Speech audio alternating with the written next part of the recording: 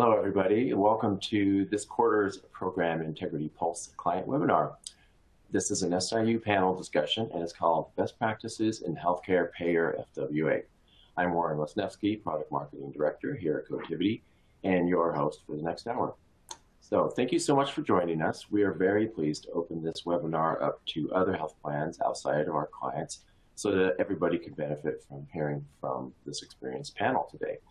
But before we get started, I want to quickly run through some housekeeping items. First, you can resize all your windows that you currently see on your screen, including the slides and the presenter video. And we have multiple ways for you to reach out to us during the webinar.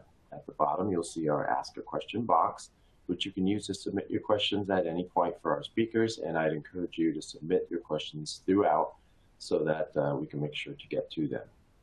You can also use the email us button to request additional follow-up after today's webinar. And on the left, you'll find additional resources, including links to useful assets related to today's webinar. Click the image at the bottom right to learn more about some FWA schemes also, please take a moment at the bottom, uh, at the point during um, today's webinar to answer uh, a quick survey. Your feedback is extremely valuable and it helps inform future topics. And then lastly, NHCAA will be offering one AHFI credit for this webinar, available only to those who attend live today. An email with the attestation link will be provided to live attendees after the webinar. Okay, so we have a great panel of SIU directors with us today. Jennifer Putt, SIU Director at Highmark Whole Care, Letitia Meir, Director of Financial Investigations at Blue Cross and Blue Shield of Louisiana, and Trevor McCall, Director of Special Investigations and Program Integrity at AmeriHealth Caritas. They will all introduce themselves a little more in just a moment. Our moderator today is Ryan Cleverly, as the Director of uh, Product, Fraud, Waste, and Abuse here Ryan is responsible for the strategic direction of Cotiviti's FWA product offerings, including both prepay and postpay detection. Ryan has extensive experience in creating and managing FWA detection products and is himself a former investigator. So, Ryan, with that, I will hand it over to you and kick things off. Great. Thanks, Warren. Hey, welcome, everyone. We're excited to have you join us today. Um, good morning, good afternoon, depending on where you're calling us from or joining us from. Um, we're excited to go through today's session. We're also excited to have the panel of guests that, that, that Warren just introduced and, and really cover um, a variety of topics here. But really what we want to make sure that as we go through um, and, and, discuss these topics with our panel today, that you really have um, some some information that's useful to you that you can take back as we go through some some real world experiences again with our panel um, that are experts in this field and we can go through and we're going to cover really, um, you know, as you see the topics here in front of you, um, how to really put an investigative work plan together and, and how our, our team here does that within each of their own SIUs. Um, some of the case examples that we'll go through have to do with uh, really how to look at both um, combining provider level and, and claim level reviews and that how that'll help really identify you know, more fraud, waste, and abuse, and and even um, getting more of a holistic view of that provider's billing behavior. Um, also combining in there uh, both prepay and and postpay pattern abuse. So so we'll ask and, and discuss some of those within our with our panel today, um, and and also going through a lot of the the stress and strain um, that our that our SIUs are facing today between um, hiring and retaining good talent um, and then obviously leveraging and, and how to identify ROI. But before we get into that, we do have a few housekeeping items we just need to go through and cover. So I want to go through our disclaimer real quickly uh, and, and just we'll just read this. The contents of this presentation, both written and oral, are not to be construed in any way as legal advice. This presentation is for informational purposes only. The views and opinions expressed in this presentation are those of the presenters and do not necessarily reflect the official position of AmeriHealth Caritas, Blue Cross Blue Shield Louisiana, Highmark Whole Care, or Cotiviti Inc. Okay, so we all know really the challenges that we face today. We know that FWA isn't going away. Um, we, we all know, we've all seen the numbers out there. We know that, you know, of total healthcare expenditure, about three, anywhere from 3% to 10% of that um, is lost to FWA, and really only about 8% is really ever recovered. Last year alone, you know, our, our here at Cotiviti, our fraud, waste, and abuse management identified about $13 billion in suspect claims, really kind of looking across our entire hosted set of, of active medical and dental clients. So we know it's not going away. If anything, it's increasing. And now to add to that, we've just come out of a out of a pandemic where things have changed. There's new schemes that we need to identify. There are um, issues with with um, hiring and retaining talent. How do we fill in those needs? There's the um, know, we're coming out of what they are referring to as the as the great resignation or the, the, the new term that's out there now, I believe, is quiet quitting. So how are we facing those challenges? It's it's adding more stress and more strain to our SIUs than ever before. So what we want to do today, again, reiterating our key takeaways we just looked at in our objectives, um, really diving in, discussing with our panel these very things, and and really understanding how they're doing it And, in you know, as, as you watch and listen and, and ask questions, find ways that you can take that back into your, your SIU. So with that, I want to introduce our first panelist. Excuse me. We'd like to introduce uh, Letitia Muir. Letitia, if you wouldn't mind just introducing yourself. All right. Thanks, Ryan. And like he said earlier, good morning and good afternoon, depend on, depending on what coast you're on. So I am Letitia Muir. I'm the director of the Financial Investigations Department here at Blue Cross and Blue Shield of Louisiana. I have been Blue for about 26 years, so I've been here for quite some time and actually have spent all of that time within the SIU. I originally started off doing a three month um, internship before my state police academy started, and then Blue Cross offered me a permanent position, which has been a very good decision. So my three months has now turned into um, 26 years. So a little bit about Blue. Our current enrollment is about 1.9 million members. Um, we have a wide variety of different products that we offer to include some of which Medicare Advantage, Exchange, FEP, individual products. Um, we're, since we're a Blue plan, we process ITS um, claims, which means other Blues members either receiving services from here within our state or our own members receiving services from another Blue in another state. So our financial investigations department was created in 1992, so long ago.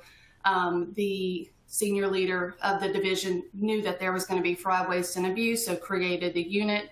We are currently a dedicated team of 14, and we participate in a number of um, boards and organizations to make sure we keep our finger on the pulse of kind of what's going on in the fraud world because it changes on a daily basis.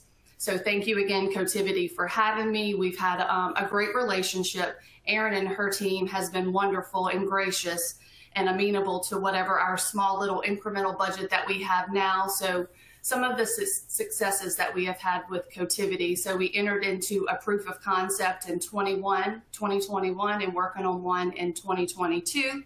So the proof of concept, um, they generated leads on our behalf and so, based on those leads that they generated, we were able to open about a dozen or so cases and allegations. And from that, we have had significant financial impact um, for the company. Again, we are continuing to grow our relationship and look forward to where um, we can go in 2023 with hopefully the expansion of our budget. All right, back to you, Ryan. Great. Thanks, Letitia. Looking forward to uh, hearing from you today. Uh, let's move to our next panelist, uh, Jennifer Putt. Jennifer, if you wouldn't mind introducing yourself. Yes, thank you. Good morning. Excited to uh, be part of the Cotiviti uh, presentation and partnering with Cotiviti's unit in Highmark Whole Care. We are formerly known as Gateway Health Plan. Um, I have been with Highmark for almost uh, two and a half years. Um, before that, my uh, my experience spanned around working on the provider side for almost 20 years, um, where I worked on uh, the quality side and had various leadership and auditing roles. Um, my experience currently revolves around managing people and auditing specific to fraud, waste, or abuse and regulation enforcement. Um, so, like I said, I had 20 years on the provider side, and within the, within the last seven years, I have ventured over to the payer side and have held positions at other managed care organizations. A little bit um, about Highmark Whole Care. Our mission is to care for the whole person in all communities where the need is the greatest. We see a future in which everyone has equal opportunity to achieve their best health. Working along amazing colleagues and investigators, the Fraud, Waste, and Abuse team helps to fulfill that mission. Uh, the Highmark Whole Care FWA team has two divisions. We have the Special Investigations Unit and the FWA Solutions team. Our team consists of 16 dedicated people, which includes coders and certified fraud examiners, uh, reporting uh, and compliance people, and a wealth of um, auditing experience from our dedicated team. Our team's goals are to detect, detect and investigate fraud, waste, and abuse and ensure that claims are paid correctly both by prepay and post-pay auditing methods. Uh, the SIU team internally also oversees any administrative projects. We handle federal and state reporting, and we collaborate with law enforcement for investigations and fraud referrals. Internally, we use Cotiviti FWA Management Solutions. Uh, we use Commander, um, which is our case management system, which is our, in air quotes, our source of truth. Um, we use it for all of our reporting measures. We are currently partnering with Cotiviti on building out and adding in uh, a section um, in Commander for our corrective action plans um, so that we can pull tracking and reporting for all of our incoming uh, corrective action plans. We use Sentinel to help vet our incoming cases we are taking a deeper dive into Informant and getting more familiar with Informant and how it can um, help the SIU achieve, uh, team achieve uh, more referrals. And Cotiviti's prepay solution, which we are really excited about um, here at the at Highmark Whole Care. I will throw it back to Ryan, who can turn it over to Trevor now. Great. Thanks, Jennifer. Yeah. And last but not least, uh, Trevor, if you wouldn't mind introducing yourself.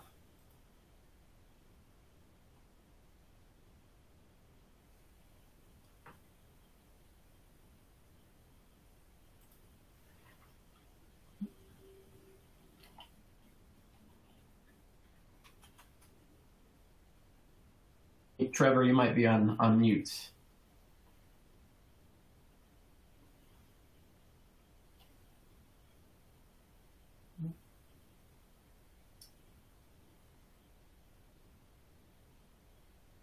That's okay. Trevor, if uh, while you work through technical issues, just we'll we'll get back to you once we can hear you, if that's okay. All right. So I think what we'll do then is we'll go ahead and once Trevor's up, we can get Trevor's audio going. Trevor's your audio going?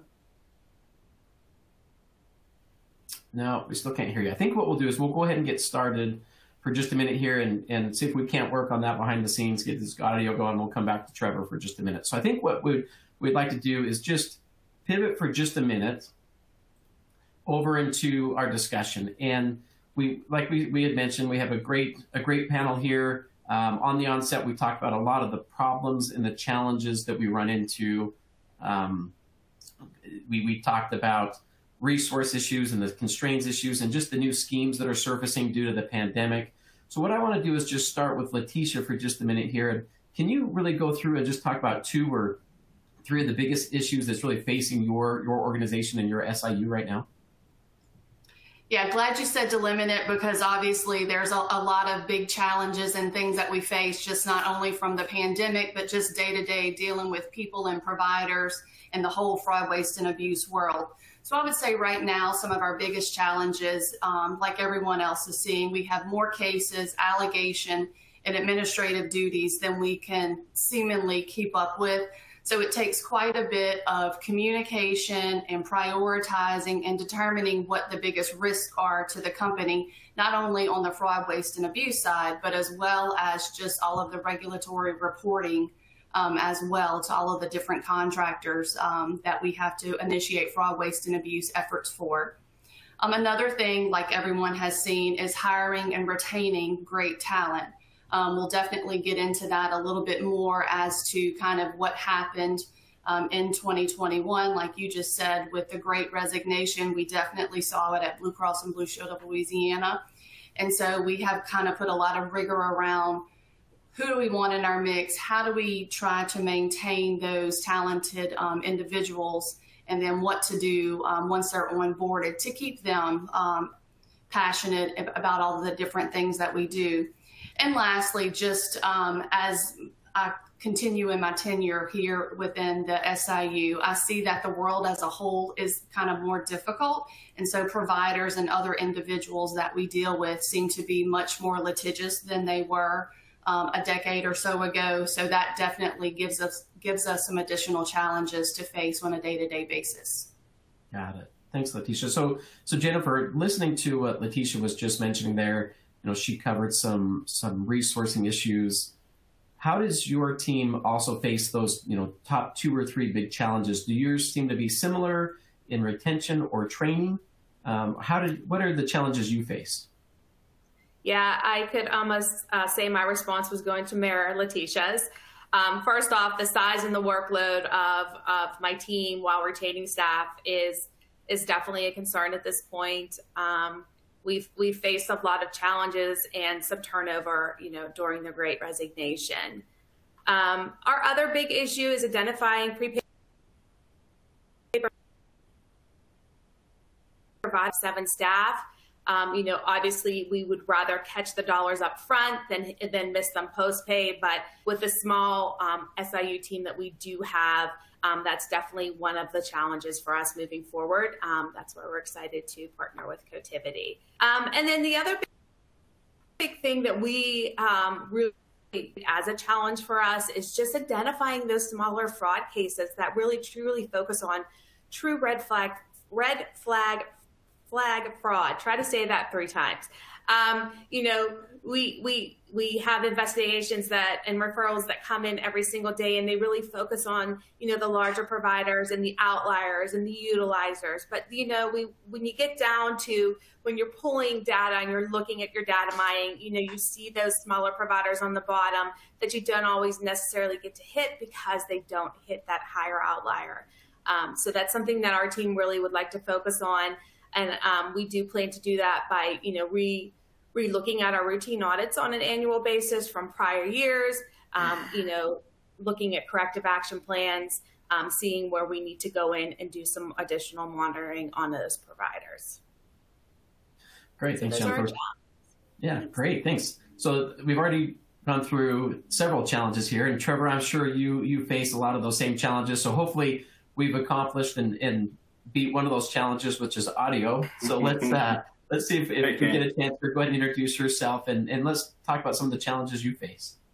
Hey, can you hear me now? Yeah, we've got you.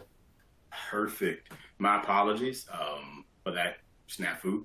Uh, so the introduction, first and foremost, guys, I want to say hello to everybody out there. And if you're in the state of Florida, um, uh, also with you as you brace for this hurricane, being here in Louisiana something we know all too well. Um, so you all brace for that and good luck with everything that's going on in Florida. Um, Trevor McCall, as, as indicated previously, uh, I've been investigating healthcare fraud, waste, and abuse around a little over 20 years. Uh, got my start a long time ago working with the state of Louisiana with the Department of Insurance, uh, where I was uh, rose to the rank of director there before transitioning to the Medicaid Fraud Control Unit, uh, where I worked there and ultimately left in 2018 to venture to the private side. I have an amazing job here at AmeriHealth Caritas, uh, starting off as an investigator and now sitting in the director's seat. I had a, a stint at Anthem, and at Elevance Health, uh, amazing uh, MCO as well, uh, partnering there to work over the Arkansas, Iowa, and Virginia markets. Uh, here at AmeriHealth, uh, we offer Medicaid products, Medicare, DSNP, LTSS programs, the exchange, behavioral health, to a little over 5.2 million members in total. Um, our mission here is to put care at the heart of everything that we do here at AmeriHealth. Uh, we believe that everyone is equal, should be treated equally and fairly, and that's something that AmeriHealth Caritas embodies on a daily basis.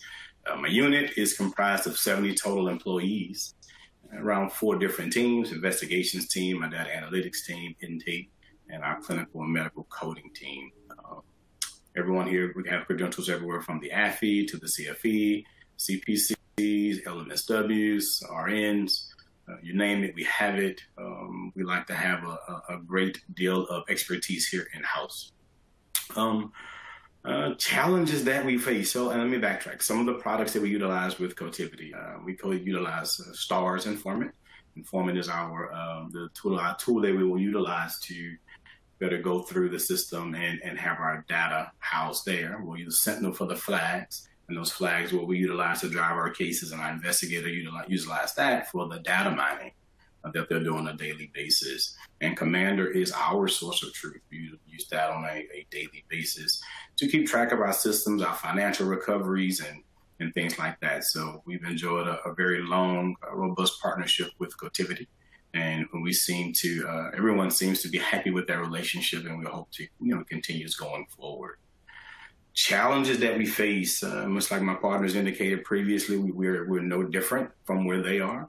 Uh, some of the challenges that I can think that that we face here, uh, not only is of course with the Great Resignation, as Ryan alluded to earlier, um, but with some of the the mandates that came down from the 21st Century Cures Act with the EVV portal. EVV is a tremendous tool when it's deployed properly.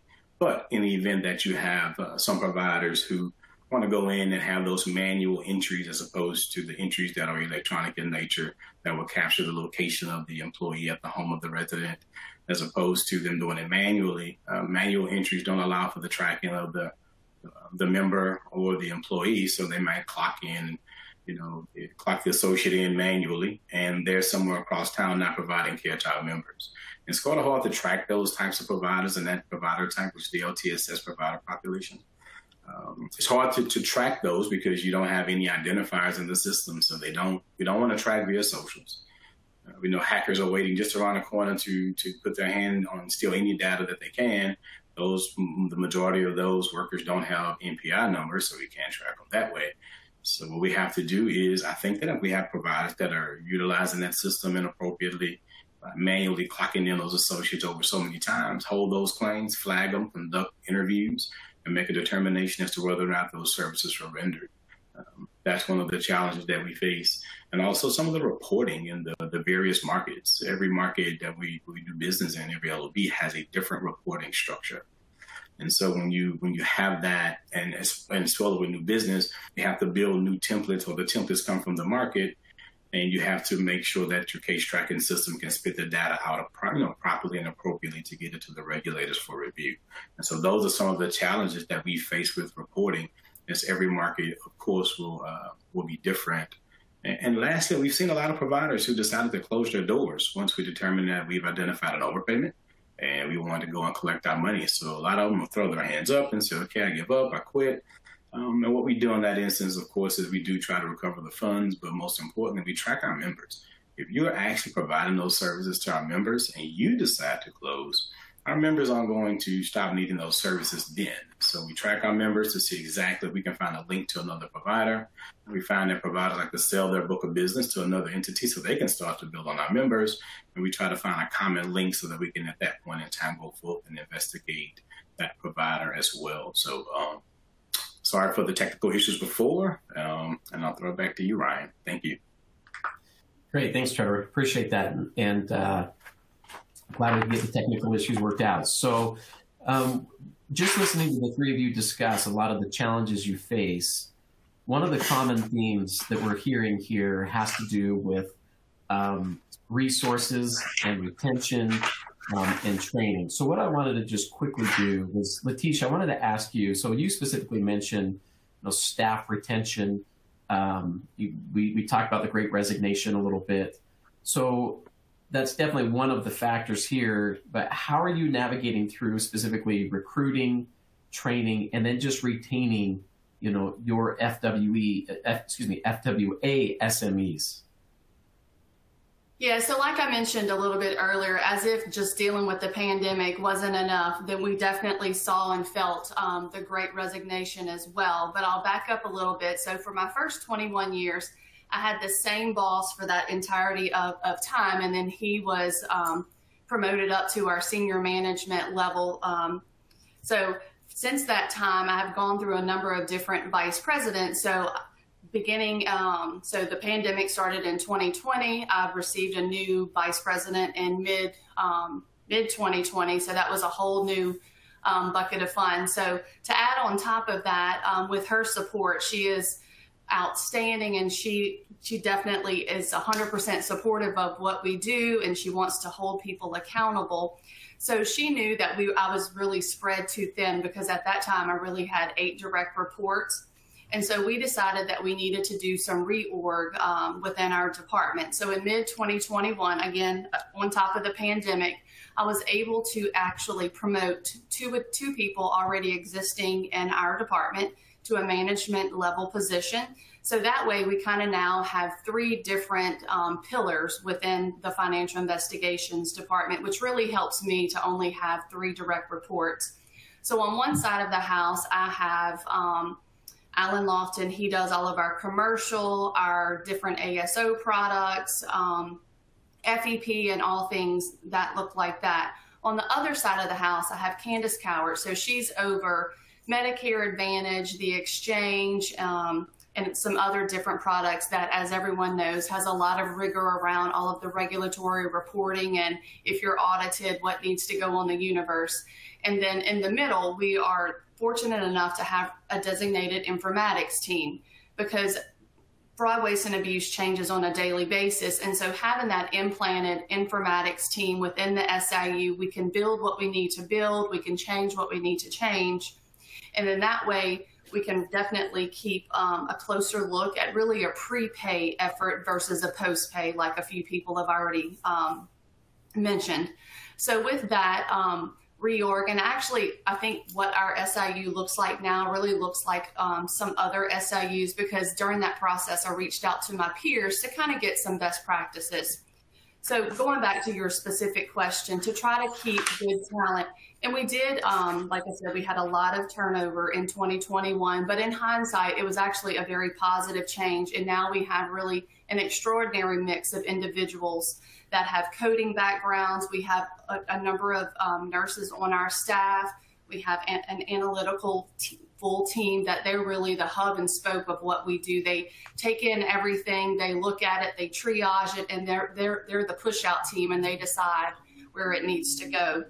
So to help once we have people onboarded and to help people stay enthusiastic and passionate about what we do, because obviously we're we're here for a paycheck and, and not only do we love what we do, but also people like some time away from the office. So just some little things that we do for out of the box um, outcomes initiatives um, and any type of leadership things we give them star days so if they do something kind of out of the box or whatever we'll give them an extra half a day a whole day because that really helps with just balancing out all of the work life balance. Um, we are very flexible. As long as the job's getting done we're very flexible um, with all of the, their needs to handle their personal life. Um, based on the um, the level of turnover, management completely did an overhaul of our training, and we took really that back in house and we got things into one repository. Looked at our checklist, looked at the different things, and really the timing of once we onboard someone, what do they need to know first, second to 50th? Because ingesting all of this information is, is, quite overwhelming. So we really have a better training um, which has now given us a much better output of people handling cases and getting them to be able to handle things more independently. Um, that also helps with I wasn't ever trained on that. I wasn't ever given that specific information. So we have again some specific checklists of when we covered certain things, and that helps for them to know. Oh yeah, I did. I did receive that particular training. Let me go find it myself. I just recently had a conversation with one of my um, employees, and we are, I guess, probably sometimes at a better advantage being a smaller SIU that I, I can actually reach out to a couple levels down to get a finger on the pulse and kind of do some check ins. And so this is our newest employee. And she said, really, from an employee standpoint, that they need to be accountable, be a self starter. That obviously your manager doesn't know what you're lacking or what maybe there's some opportunity. So it's really incumbent upon each person to have full communication and reach out whenever there's a need because managers obviously we, we can't know everything that someone um, needs at different times And lastly, one of the things that we do, and thankfully um, we can now do things in person, that we recently started to have team building um, sessions in person.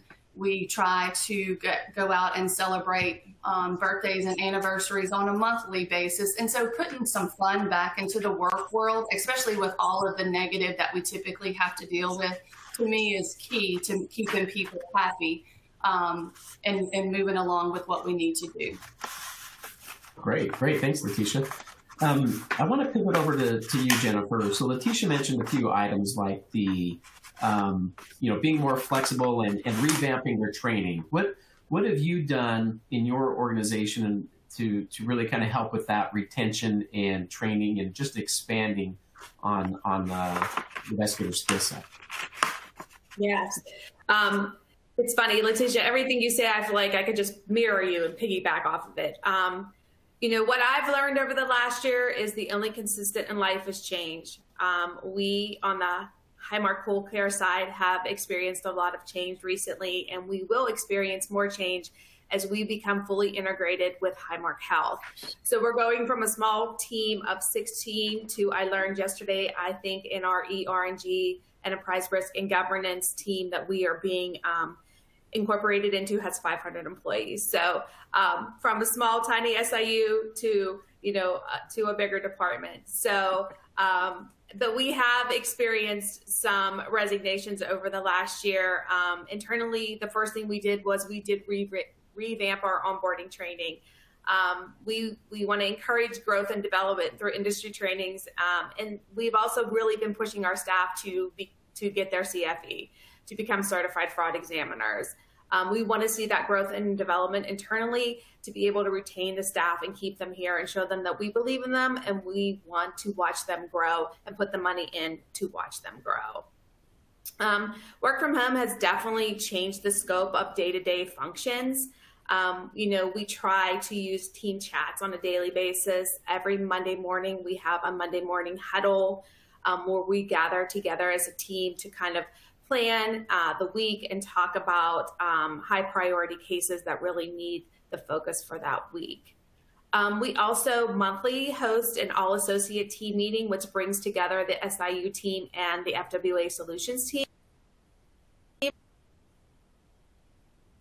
So we're highlight team and individual individual recognitions, um, you know, while uniting the team together. We also use this meeting to help us stay on the pulse of our FWA activities and provide industry and internal updates.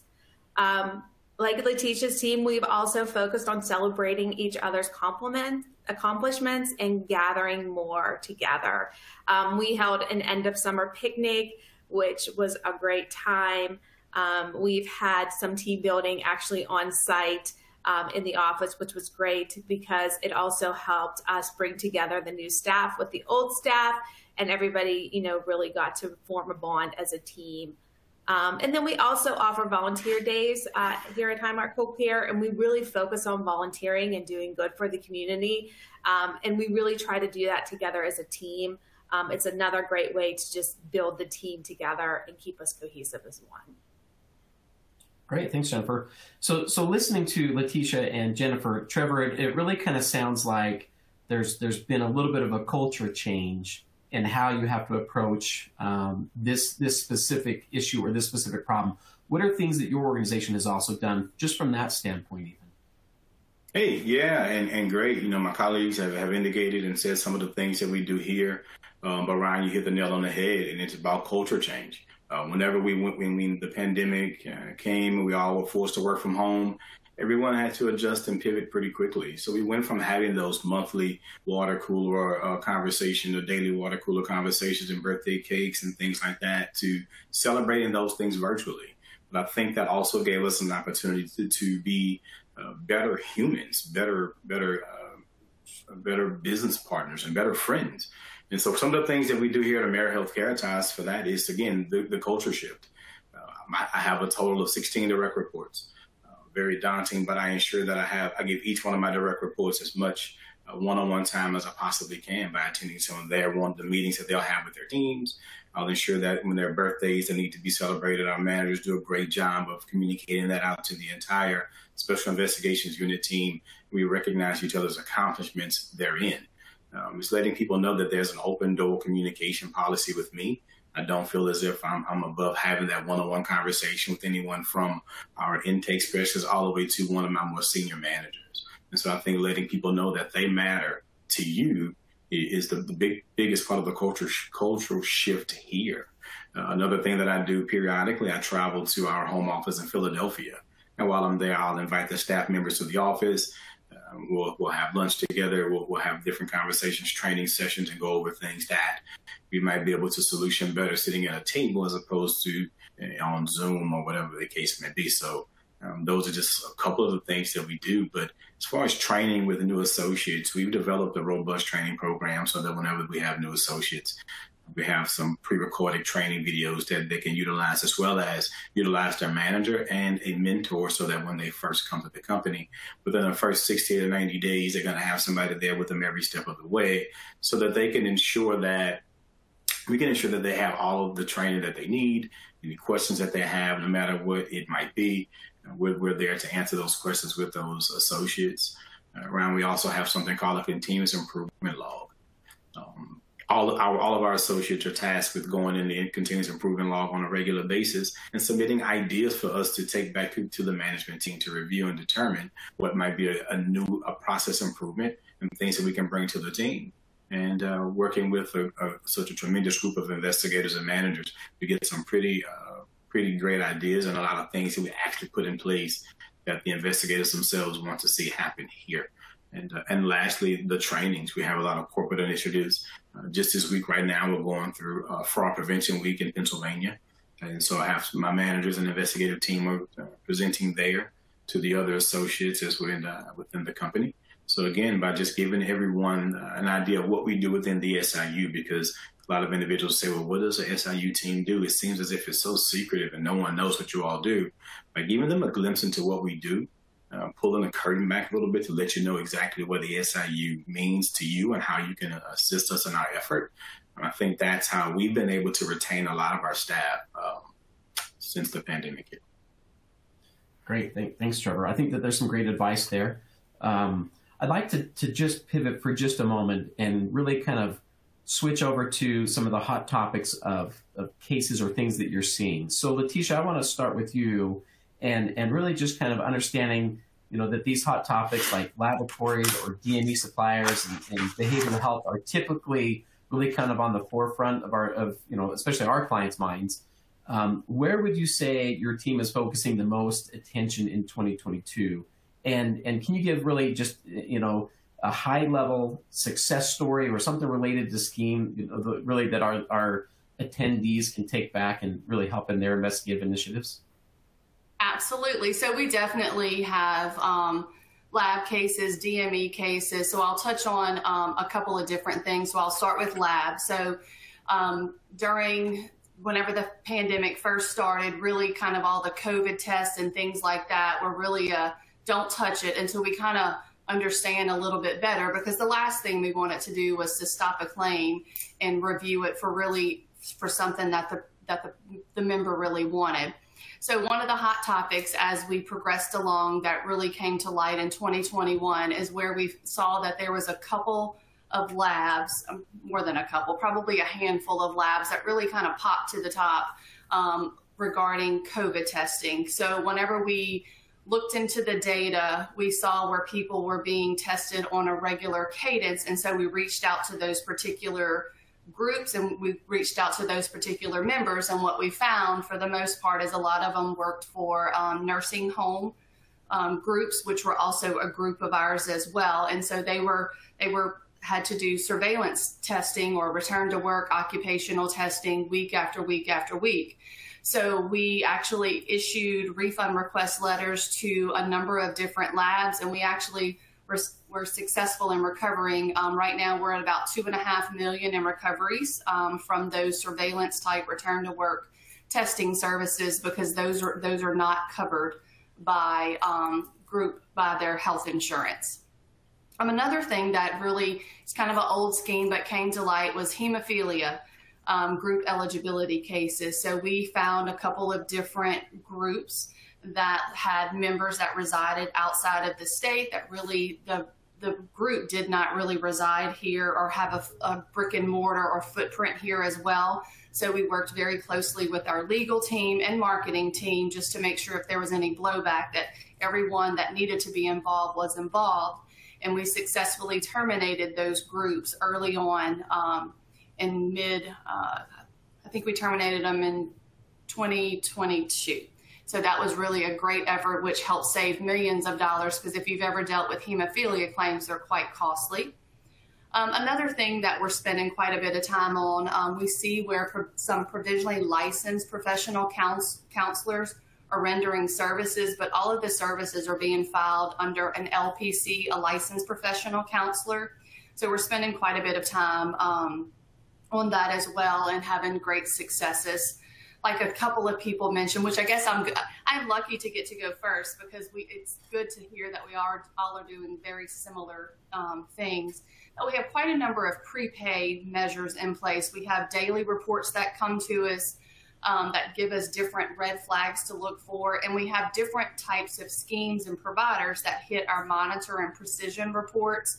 And just on those small prepay efforts. Um, one of our informatics analysts has actually successfully stopped um, almost $2 million this year from going out the door. So that's a really great success for our department. Um, another thing that we do where we combine some provider level reviews as well as claim level reviews that like a couple of people have mentioned and like I just mentioned prepay efforts that if we see something that's just not right we need to stop it on the front end because trying to chase those dollars is you're, you're not going to be able to be as successful um, with those efforts and it's usually a longer effort. So one of the successes that we saw, it was really during the UDT cases where other blues were processing claims, but we knew that those claims really were not payable based on a number of different things, just benefits alone, that we have certain rules in place to pay for confirmatory tests. So we actually put some prepay edits in place for even claims coming in um, from out of state. So those are just a couple of the um, success stories that we've had um, in late 2021 and 2022. Great. Thanks, Letitia. So some of those things that you mentioned about hemophilia and some of the other schemes, you know, it sounds like there was some, some success recovering or even just identifying, finding those. So, so Jennifer, based on some of those things that Letitia just talked about, what schemes really have, have you been dealing with in your organization? Has, has there been anything related to to DMEs or even COVID COVID schemes, you know, coming out of the pandemic. What have you seen in those areas? Sure. Yeah. Uh, as part of our routine audits this year, we are focusing in on DMEs. Um, you know, CMS obviously identified DME as a high risk for 2022. We have identified our top outliers and utilizers. Um, we are focusing in on um, oxygenators. It's so hard to just pull DME data and say you're going to focus on everything because you'll just pull your hair out. So we had to definitely scale down and limit down to what we were specifically looking at for these DME reviews. Um, but what we're finding across the board is a higher rate. Um, you know, a lot of no uh, recertification letters uh, supporting medical necessity for the equipment, and a lot of no OS. Um, so close to $1 million in recoveries right now, um, specific to DME. Um, and of course, you know, law referral law enforcement referrals have been made.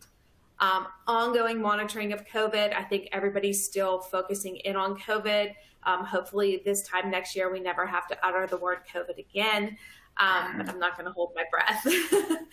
um, so, you know, still focusing in on those high volume providers, high volume members, um, what we've been doing is monitoring the over the counter test kits just to see um, how the pharmacy supplies are going in and out um, because there is a limit of eight per month. So we've been looking at that, um, looking at place of service. Um, and specifically um, targeting out of state labs, data mining to identify those out of state labs, use of member verifications to confirm testing and sites, where they actually got their COVID test, and um, you know, using social media to do some um, exploration into these labs, um, identifying their locations.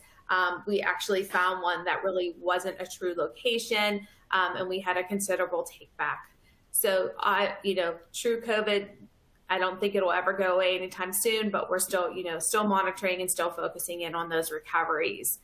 Um, the last one that I would like to talk about today is something specific um, to a pain management clinic.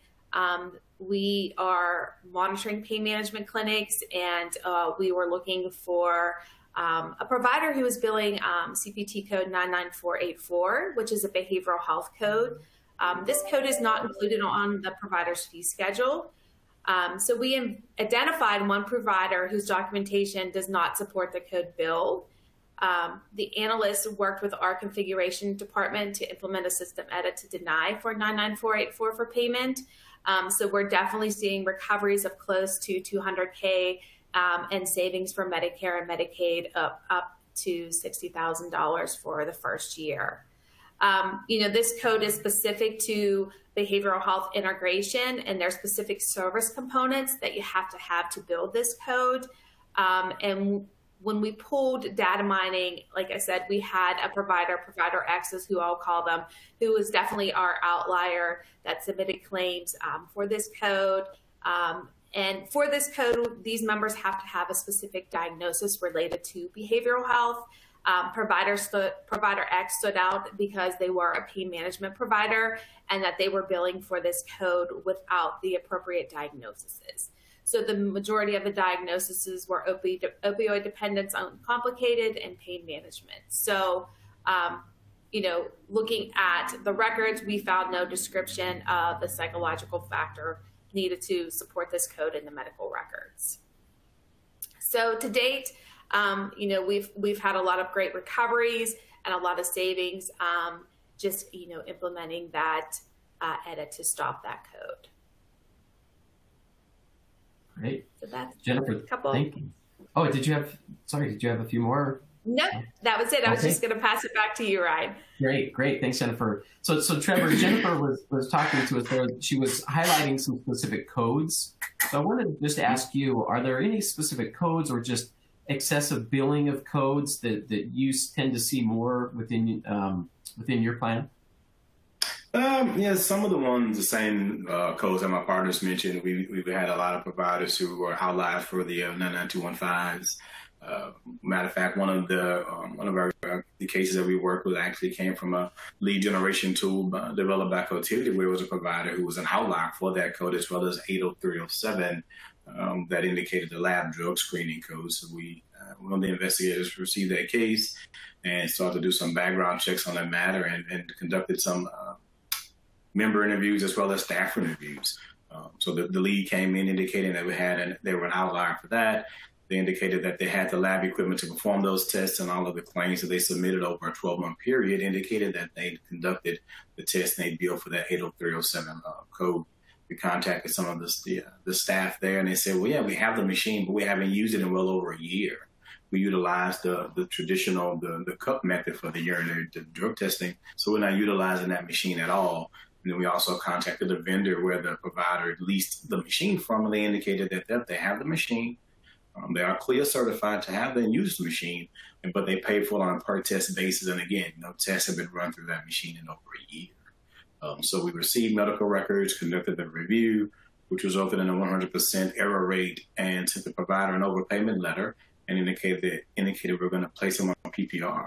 And the provider said, you know what, I quit, threw their hands up, and decided to exit the network, but they still repaid uh, the overpayment a little bit over $28,000.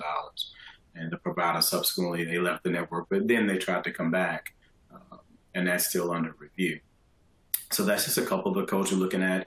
And we, we do have uh, a lot of uh, pharmacy related matters we're looking at, one of which involved a provider, a prescriber who was uh, an outlier for prescribing Latuda.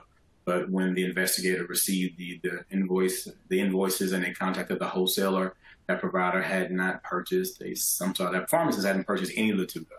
So we were trying to determine where they were getting the drugs. They were submitting the claims for reimbursement, which the provider, the pharmacist was paid a little over seven million dollars for that. Uh, for the for Latuda, with the next closest pharmacy receiving around six hundred thousand dollars. Uh, so they, uh, my team conducted a claims analysis where we saw one member received, uh, indicated they received multiple strengths of Latuda, with each prescription having five refills. Um, they were continuously filled. while the recipient received, you know, another prescription each and every time. And so the we looked at one recipient and each of those previous prescriptions should have been canceled when a higher dose was prescribed, but they weren't.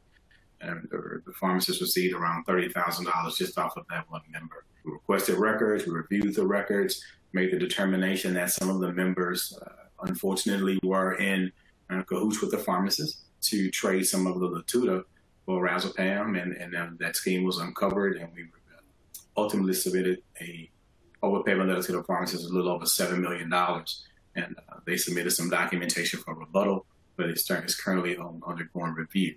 But um, so those are just a few of the high, uh, higher matters that we're looking at, but um, the same scheme still, rear their ugly heads, and possible day scenarios providers are submitting behavioral health claims in excess of 96 units a day, which we know is impossible. Um, and then you can reach out to the, some of the members and they'll say, hey, I've never heard of this provider. I've never had any of those services. So those are just a few of the things that we're looking at here at Friday. Great, great. Thanks, Trevor. So we're seeing that we're getting a lot of very good questions here, and we want to make sure that we have some time. But there's one more topic I just wanted to quickly get to. So if each of you could maybe just take a just take a minute, because um, all of you mentioned SIU workloads is a major challenge. So given these resource constraints, right, there's the use of telehealth and and you know the remote nature of conducting our business. All of that has increased. You know, what are some of the best practices that we can kind of recommend back to our our um, attendees for for for uh, helping navigate through those challenges? And what are some things that they can use to really kind of use the the right way to focus that attention and the right projects to help really increase fraud prevention? So so with that, I'm going to go in reverse order this time. And Trevor, let's start with you. Yeah. So coming off mute. Well, some of the things that I think we can do to, to combat FWA here in, in this arena is um, one of the first things nowadays is uh, we're getting back out into the world, uh, more on sites. Uh, let's get back out into the community. Let's start conducting more on site visits to uh, see if some of those services are actually rendered and go and get the documentation on site and have those those documents reviewed. Uh, another thing I think that we can do to to bolster our FWA efforts and ensure that we're looking at the right matters and not just any matter that comes across our desk is also to have more collaborative trainings with our internal departments. Uh, you'll, you'll, have your UM team and your uh, your PNM teams that's going to collaborate with them a little bit more to determine if there are any areas that they're seeing in their arena that we can possibly uh, utilize and review here in our FWA our FWA space. Um, and lastly, expand the use of uh, prepaid review. I think that's uh, um, the, the, most the, an awesome tool that we have, and I think that as long as we were to continue to bolster that and utilize that as uh, stop the pay and chase model, I think that's the, the, the best way that we can combat FWA. All right, thanks, Ryan. Great, thanks, thanks, Trevor. Uh, Jennifer, you wouldn't mind. Sure. Um, something new for us um, is on sites. Um, we, uh, as the small SIU unit, have not uh, done on sites. Um, so our goal is to uh, conduct at least one on site by the end of 2022. So I definitely um, agree with with Trevor and getting back out there and being a presence in the provider community and just conducting those on sites.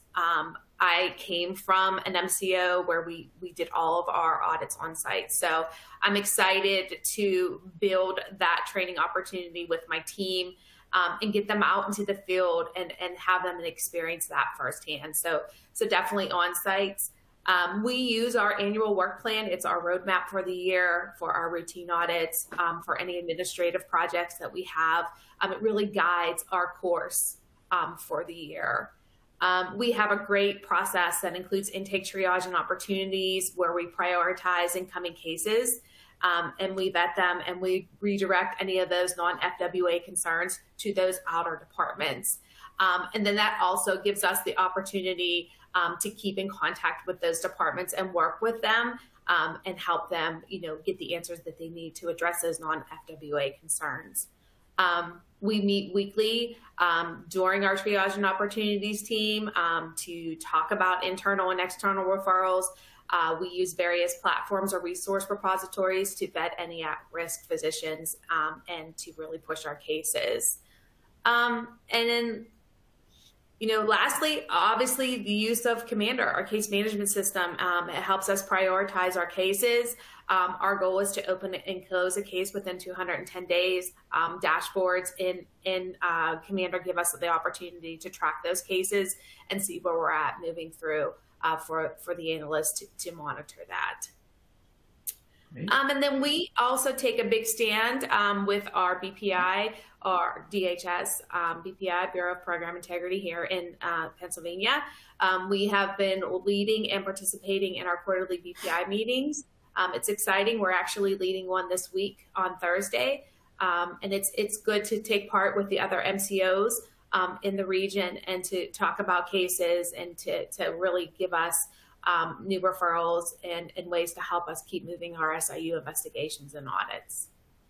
Great. Great, Jennifer, thank you. Letitia, just uh, real quickly here, some of the ways that you work through these major challenges.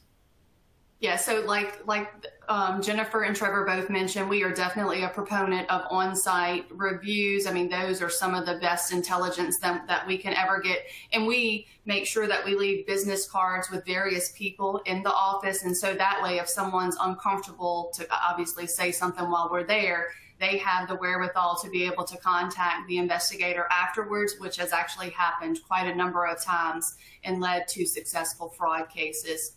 Another thing um, that I'll mention is that our big focus in 2022 is actually doing some very specific departmental meet and greets because it's been so long. And so people have kind of forgotten how, who we are, what we do, how to get matters to us. And so we've spent um, a lot of time in 2022 just getting back in front of all of the employees to make sure that they know how to get um, information to us. And if they see something, say something, um, get it to us more quickly than not.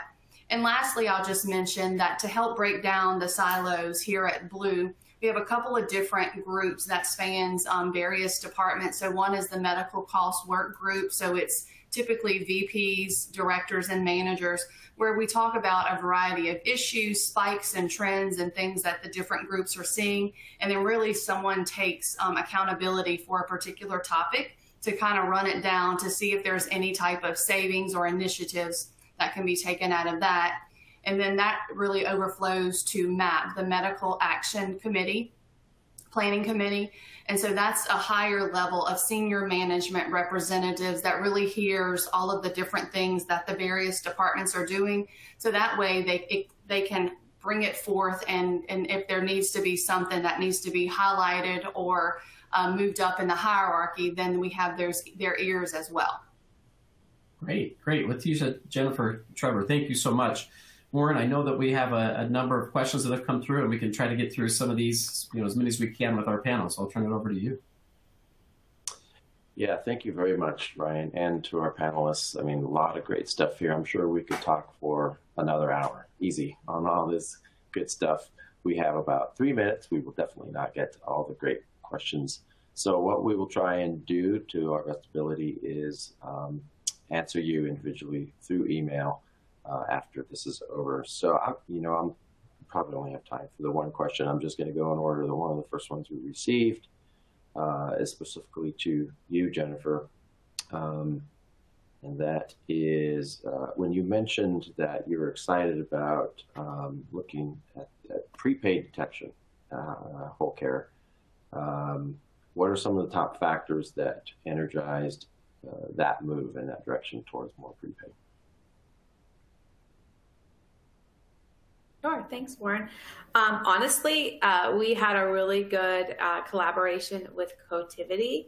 Um, they are a great partner and they have really helped guide us. Um, and we've really talked about the, the prepaid portion that we're missing out on um, because we're not able to really kind of take the deeper dive into the data mining that we need to do to identify these providers. So, um, with the new solution that we are working on implementing, um, that's going to be a big focus.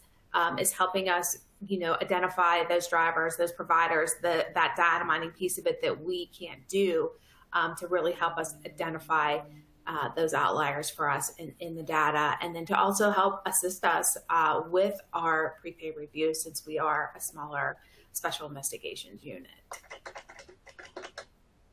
Okay, thank you so much for that. Really appreciate that.